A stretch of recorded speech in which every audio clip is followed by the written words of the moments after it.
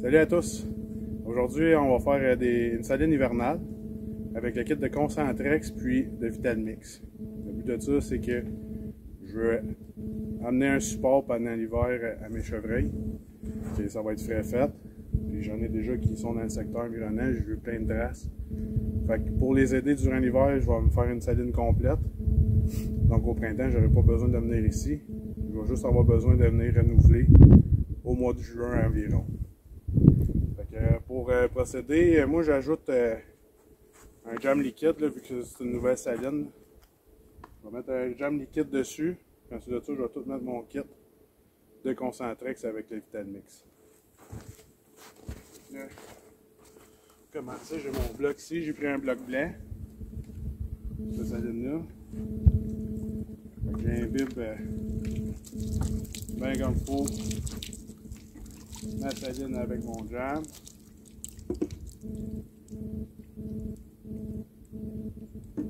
Ça. Ensuite de ça, je vais mettre mon bloc par-dessus. Ensuite de ça, les, autres étapes, euh, avec le kit concentré, ce qui est pratique, c'est qu'ils sont numérotés. En premier tout, on a le, on a le souffle. On en met autour de la saline. On n'en met pas dessus. On met autour à part de mer. Pour notre saline. Notre, notre. C'est ça, on a la saline, saline plus. C'est de l'odeur de chevreuil, l'odeur d'urine de chevreuil. Ça aussi, on en met juste autour.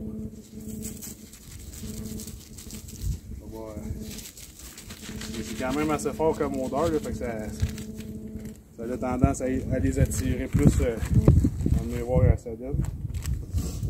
Ensuite ça, on a notre étape 2 qui était les minéraux. Ça, les minéraux, je vais les mettre sur mon bloc.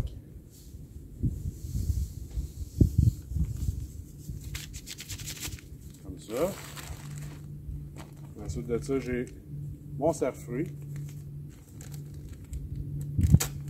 Ça aussi, je vais le mettre sur mon bloc. Le plus possible.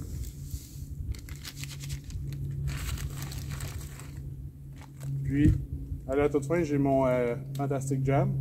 C'est la même chose que le liquide. C'est juste que lui, je vais le laisser en poudre. Puis je vais l'ajouter également sur le dessus de mon bloc le plus possible. Puis ça, ben, avec la neige, parfois de la pluie d'hiver vers là, ça va, ça va pogner en pain. Ça va jammer, ça va couler, ça va, ça va tout amener des odeurs à notre site. Puis pour terminer, ce qui est bien important, notre bloc de Vital Mix, que là on va venir le mettre sur le dessus, comme ça. Vous avez le choix de le fixer euh, soit en vissant ou euh, en mettant simplement comme ça. Moi, vu qu'elle est assez haute ma saline, les chevreuils, je pense pas qu'ils se jusque-là. Fait que, euh, c'est ça pour ça. Puis, ce que j'aime bien aussi, c'est la poudre d'automne. Ça, ça sent super fort. Ça sent super bon. ça, j'aime bien. j'aime bien ça en mettre un peu partout sur la souche. Un, peu autour comme ça. Ça amène de l'odeur. Puis pour terminer, j'ai mon Ranflex chevreuil.